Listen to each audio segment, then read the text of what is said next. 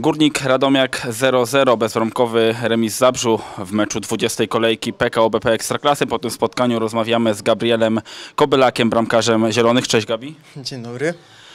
Radomiak jako jedyna drużyna w tym roku w Ekstraklasie zachowała trzy czyste konta. Nie straciliśmy jeszcze bramki, także chyba jest się z czego cieszyć.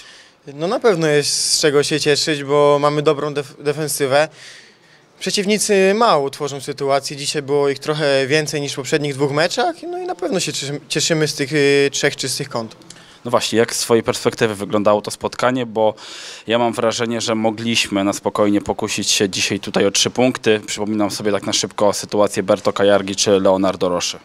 Na pewno czujemy duży niedosyt, bo mieliśmy y, sporo tych sytuacji. W pierwszej połowie Dawid Abramowicz miał, no i w drugiej połowie taką najlepszą sytuację miał y, Semedo.